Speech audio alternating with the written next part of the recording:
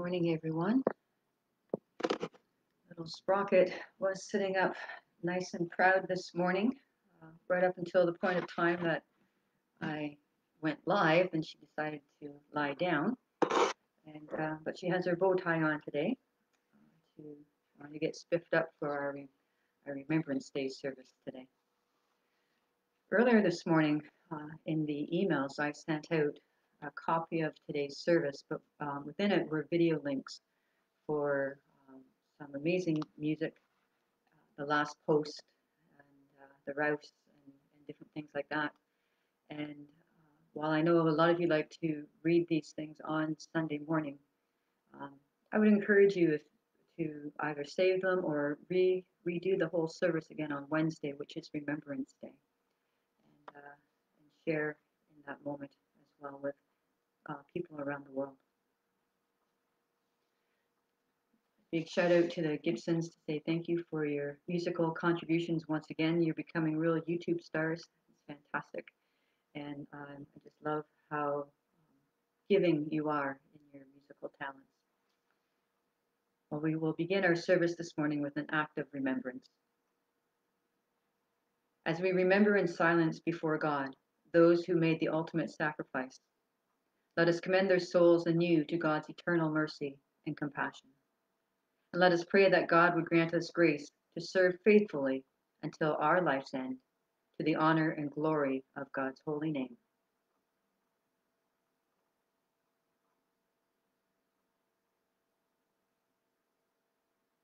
The grace of our Lord Jesus Christ, the love of God, and the communion of the Holy Spirit be with you all. For thousands of years, indigenous people have walked on this land in their own country. Their relationship with the land is at the center of their lives.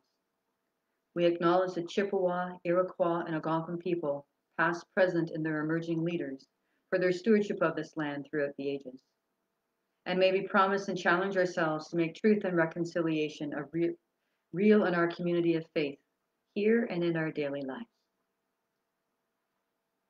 I would like to share with you now a poem that was written in May of 1915 by John McCrae in Flanders Fields. In Flanders Fields, the poppies blow between the crosses, row on row, that mark our place, and in the sky, the larks still bravely singing fly, scarce heard amongst their guns below. We are the dead, short days ago, we lived, felt dawn, saw sunset glow, loved and were loved, and now we lie in Flanders fields. Take up our quarrel with the foe, to you from failing hands we throw the torch, be yours to hold it high. If ye break faith with us who die, we shall not sleep, though poppies grow in Flanders fields. We move now to our call to worship. We stand in silence, remembering the death. We stand in silence, remembering the destruction. We stand in silence, remembering the loss. We stand in silence, remembering the horror of war to the soldiers, to the women, men, and children, to the land and all that lives on it.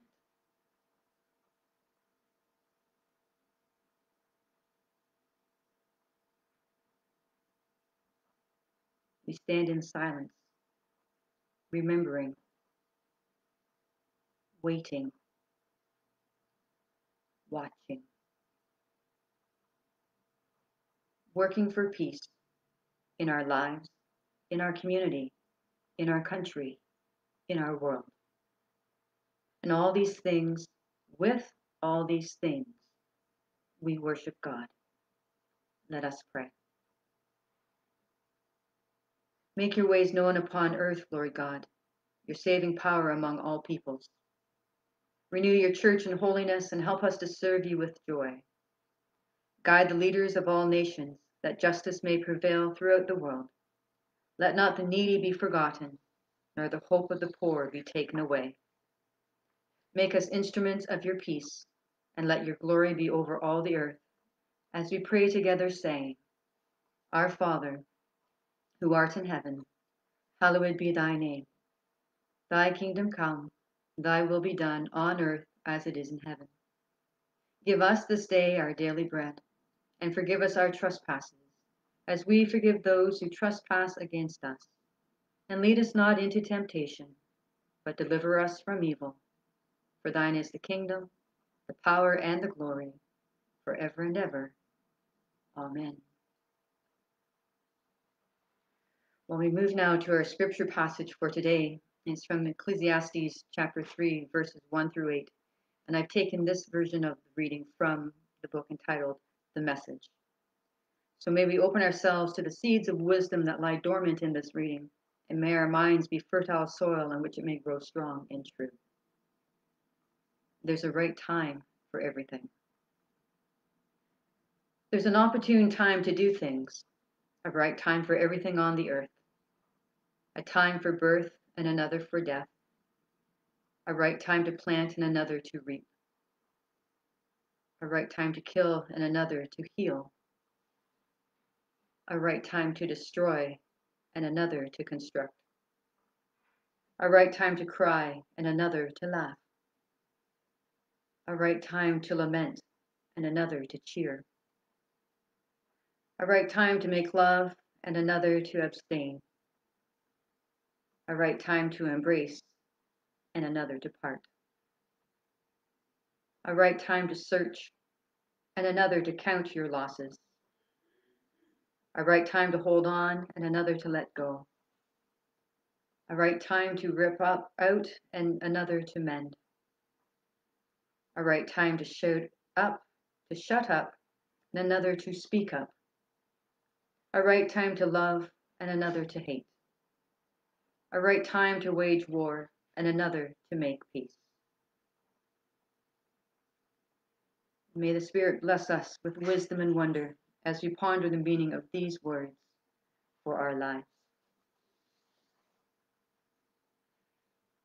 for our young at time for the young at heart, the stories about the poppy. Now, as you know, the poppy is the enduring symbol of remembrance of the First World War. And it's strongly linked with November 11th, but the poppy's origin as a popular symbol of remembrance lies in the landscapes of our First World War. Poppies were a common sight, especially on the Western Front. They flourished in the, in the soil churned up by the fighting and by the shells. And the flower provided Canadian doctor John McCrae with the inspira inspiration for his poem In Flanders Fields, which he wrote while serving in, from 1915 but in 1918, in response to McCrae's poem, American humanitarian Moina Michael wrote, And now the torch and poppy red we wear in honor of our dead. She campaigned to make the poppy a symbol of remembrance for those who had died in the war. Artificial poppies were the first were first sold in Britain in 1921 to raise money for the Earl Haig Fund in support of ex-servicemen and their families, and the families of those who had died in the conflict. They were supplied by Anna Guerin, who had been manufacturing the flower in France, to raise money for war orphans. Selling poppies proved so popular that in 1922, the British Legion founded a factory staffed by disabled ex-servicemen to produce its own, and it continues to do so today. Other charities sell poppies in different colors, each with their own meaning, but to all to, con, uh, to commemorate the losses of war. White poppies, for example, symbolize peace without violence, and purple poppies are worn to honor the animals killed in conflict. Today, our poppies continue to be sold worldwide to raise money and to remember those who lost their lives in the First World War and its subsequent subsequent conflicts. I'm sure many of you have seen the commercial now of the war veteran sitting at his computer making his poppy donation online. I believe the catchphrase is if he can do it, you can do it. Let us remember.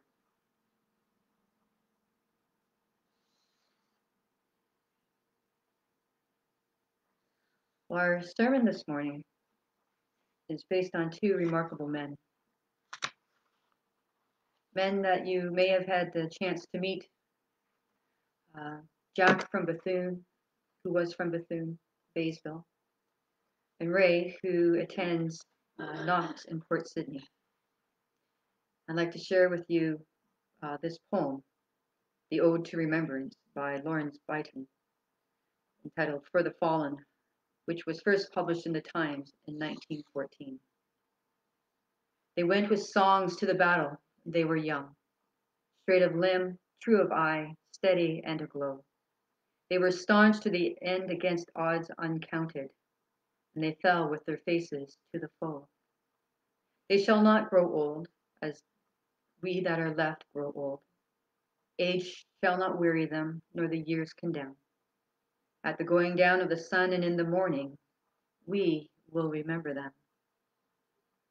They mingle not with their laughing comrades again. They sit no more at familiar tables of home. They have no lot in our labor of the daytime. They sleep beyond England's home. So I'd like to share with you now two stories of the two men, Jack Thompson and Ray Townsend who both served in the Second World War and have both published books about their wartime memories. Today I will be sharing with you a story from each of those publications. And let's begin with Jack Thompson, Warrant Officer, First Class. This comes from Jack's book entitled Where the Hell is John O'Groats? An, autobi- an autobiography of Jack Thompson. And it's funny, you know, because uh, when Jack told me the, the title of his book, he apologized for the title, for the one word that is in it that he felt would bring uh, much offense to me. But Jack, it's a wonderful title, and I know now why you why you chose that title. So here's Jack's story. We still had a day left on our leave in London, and I wasn't feeling too good. Our crew decided to stay in London for the last day. I went to bed early because of the headache I had developed. My roommate, Robbie Robertson, decided to come with me as he was concerned about my condition. I tried to get to sleep, but it was no use as the headache just got worse.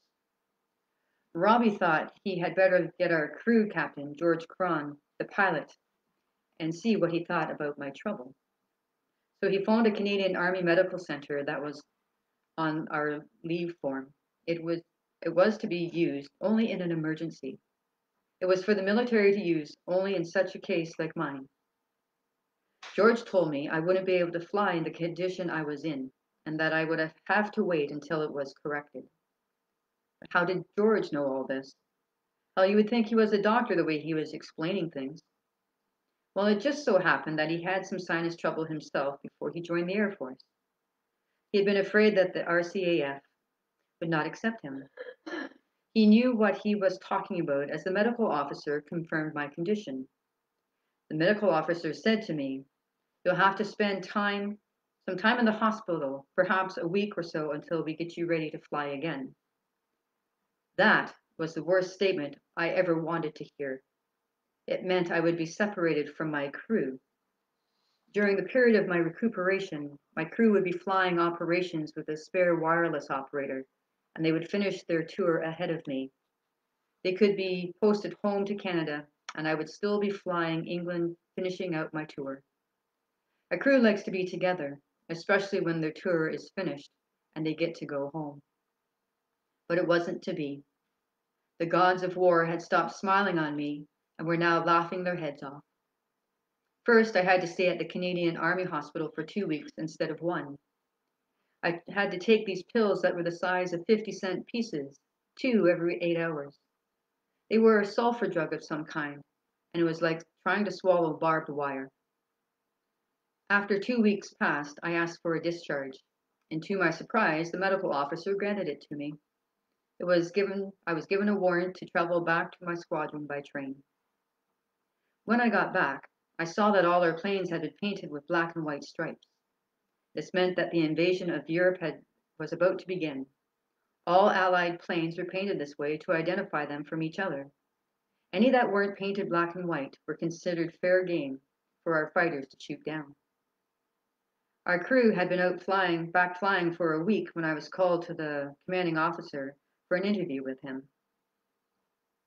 Jack, you better take some time off and try to forget about things, the commanding officer said. You've had a tough couple of weeks.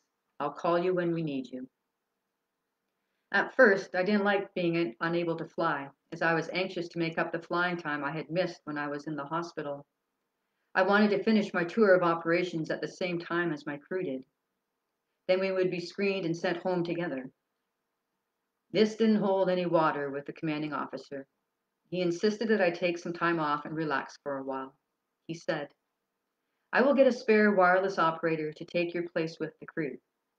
That was the final decision, and I went back to my quarters a very unhappy man. As I reached my living quarters, my pilot met me with the news that I wouldn't be flying with their crew for a while. His crew was scheduled to fly that night. I wished him luck, and we parted ways. Little did I know that would be the last time I saw him. He and his crew were shot down over the coast of Holland that night. They, when their time of arrival was overdue, the commanding officer came and notified me that he feared the worst and that my crew had been shot down. None of my crew survived the crash.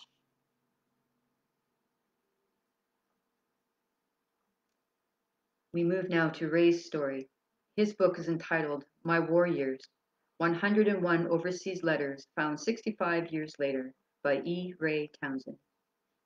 This entry in Ray's book is in, uh, dated April 2nd, 1945.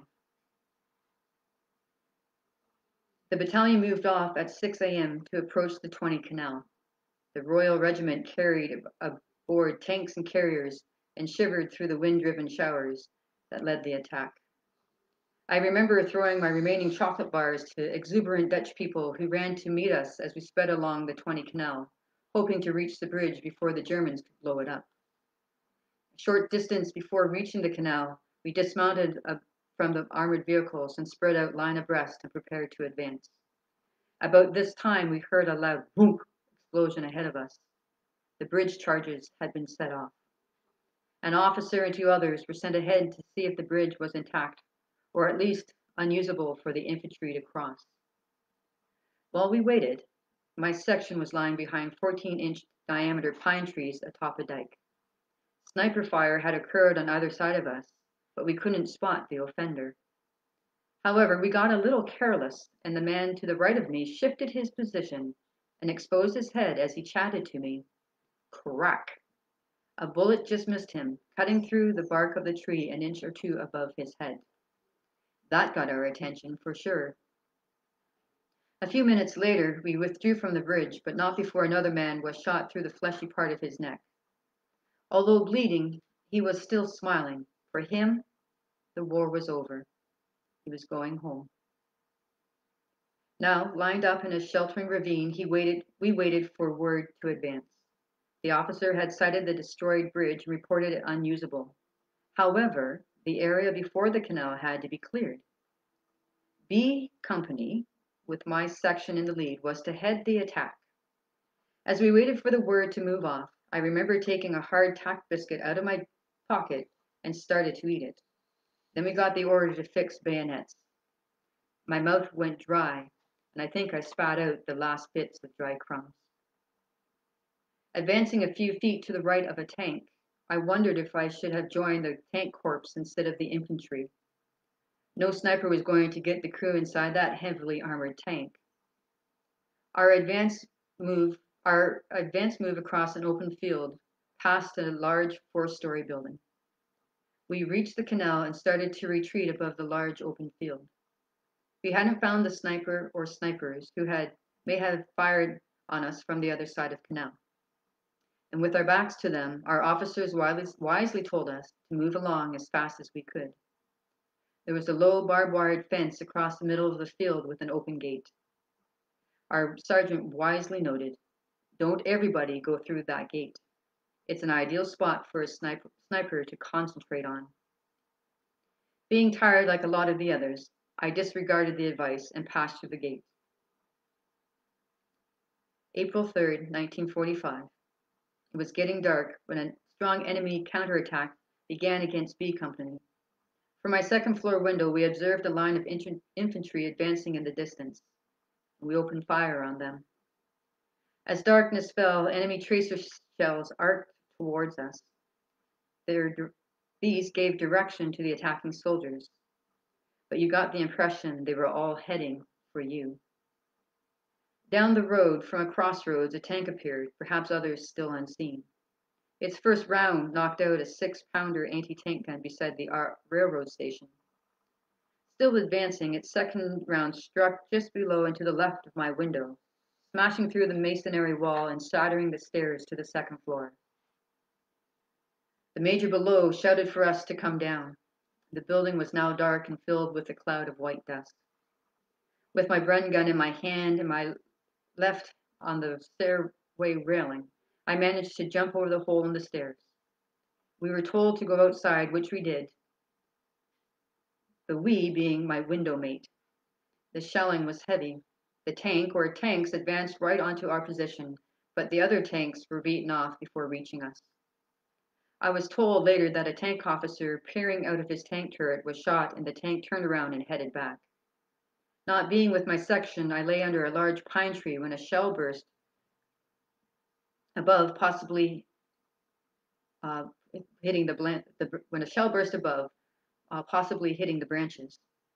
The shrapnel cut off several large branches which, which fell on me. Had they not hit the branches, I'm sure I would have been mortally wounded. As it was, I received what I called a God sent small fragment, which I didn't know about until daylight, when my blood stained arm was observed. The major's radio man was among the four dead. Four men were missing, and 23 had been wounded in what was the heaviest counterattack of the day. The Battle of the Twente Canal was not over for the Royal Regiment, but it was for me, as I and others, including two Germans, were ex- evacuated to a rear dressing station. 88 British General.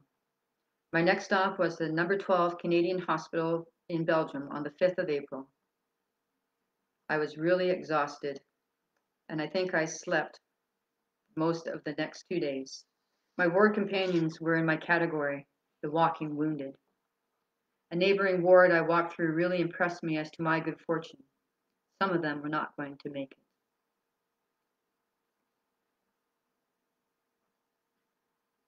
Two amazing men, two amazing stories. And there are thousands upon thousands of these stories from both sides of the war that need to be shared. And there are thousands of thank yous that need to be said by each and every one of us. I would like to finish off this morning's message with a quote from my friend Jack. Therefore, but by the grace of God, I go. Our minute for mission this morning is a Mish Kid of China by Betty Gale. The United Church of Canada has a rich history of saints who have gone before us, but whose influence is still being felt. For many in the West End of Toronto, it was one strong, kind woman who showed those who encountered her just the amazing things mission, mission and service can do. Betty Gale, Nee Thompson, was one of these saints. Betty grew up in China as one of several Mish kids, missionary kids, born to missionary parents in North China. She returned in, in the 1930s after nursing training in Canada at the urging of Dr. Robert McClure, and it was there that she met and married Dr. Godfrey Gale. They had their first child, Maggie, just before the Japanese invaded China in 1941, which led first to house arrest and then three years of internment in a prisoner of war camp around North China.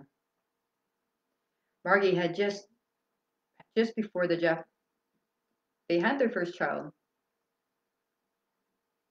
Sorry, Betty kept a journal of her family's time during the war, detailing the poor treatment and horrible conditions of the buildings that they lived in. But even during the worst times, Betty was always able to find something funny or hopeful to share. The Second World War took its toll on the missionaries.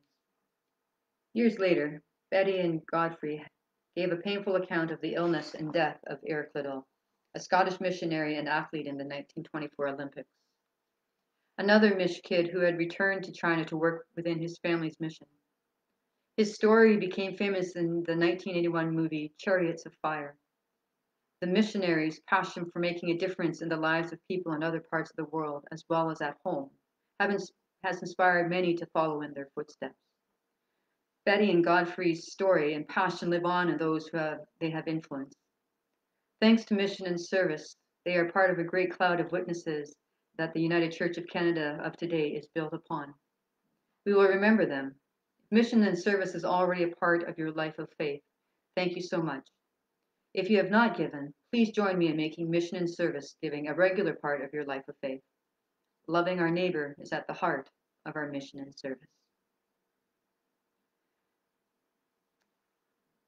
I'd like to take this time now to thank everyone who has contributed to our offerings for Bethune and Knox United Church, for those who continue with PAR, for those who have generously given on our Facebook page with the donation button, and for those who send in their uh, requests to our treasurer and their gifts.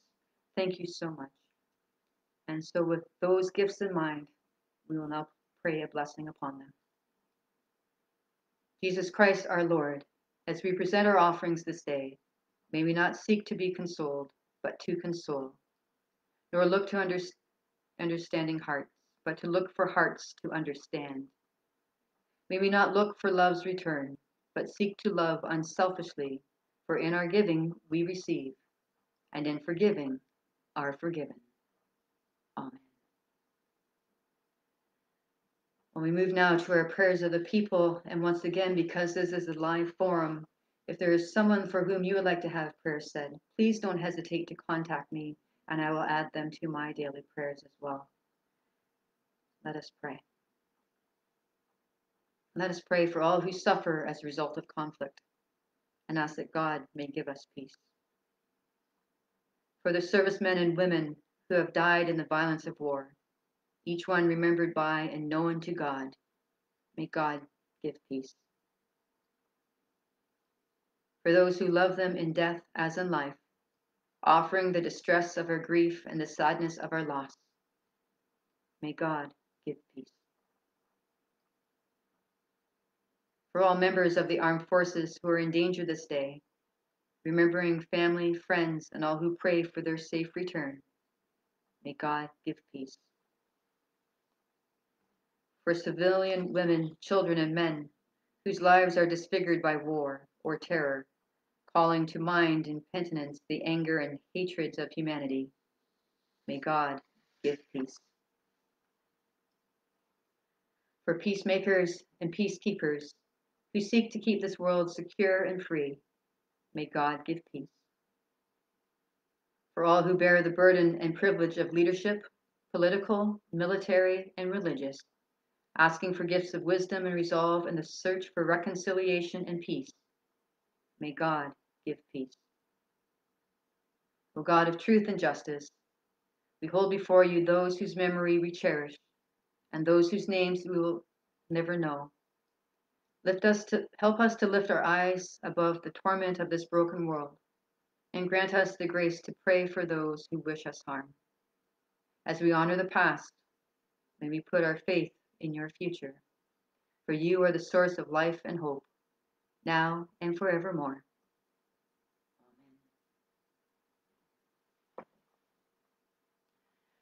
They shall not grow old, as we that are left grow old. Age shall not wither them nor the years condemn. At the going down of the sun and in the morning, we shall remember them. Friends, go now in peace and love. Stay well. God bless.